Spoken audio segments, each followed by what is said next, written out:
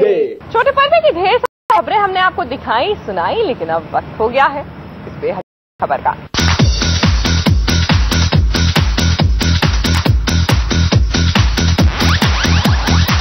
Happy Friendship Day. Happy Friendship Day to all of you.